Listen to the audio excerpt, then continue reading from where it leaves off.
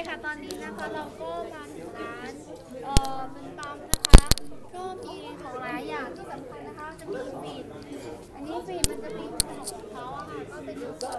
น้ำผึ้งแล้วก็มีฟีดนะคะ วันนี้เขาสั่งพร้อมเลยเพราะว่ามิกซ์กันสามถุงนะคะนี่ค่ะโอ้โหโอ้อร่อย ก็เลยต้องมา